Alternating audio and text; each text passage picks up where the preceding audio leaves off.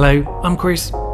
If you occasionally make the mistake of selecting fourth gear instead of second, then this video's for you. This mistake normally makes the car stall. Today, we're going to focus on how to change from third to second gear and avoid fourth. If you want to know how to change through all the gears, then have a look at our other video. There's a link in the description below.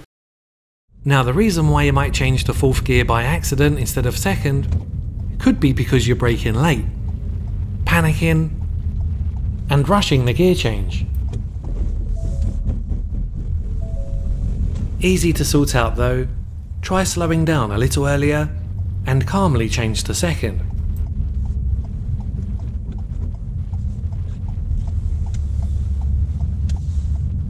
But for some, it's how they change gear that's the problem.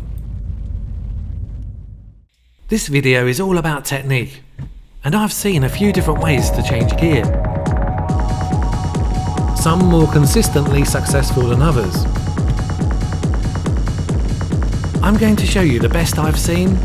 It's called the palming method, and it's actually quite easy when you get used to it. The gear lever is currently in neutral. It's this point on the diagram.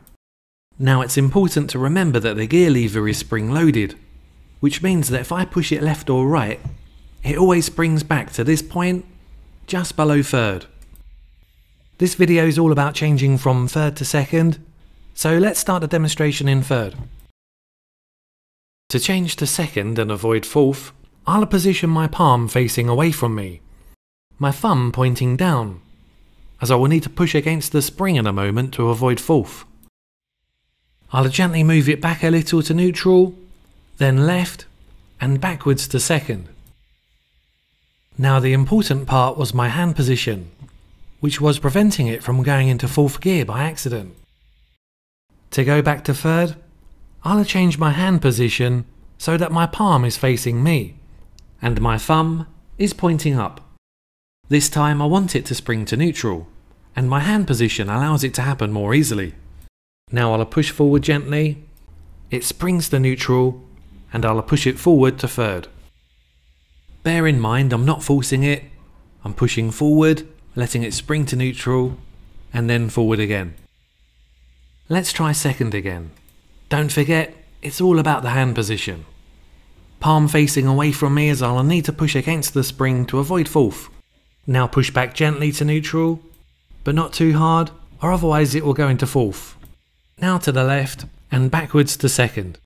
Always remember to be gentle, and don't force it. Change back to third. Very gentle grip, palm facing me, push forward, let it spring to neutral, then push forward again to third. Another way to avoid fourth gear, which you might prefer, is to constantly, lightly push the gear lever to the left as you change down to second. I'll show you it again.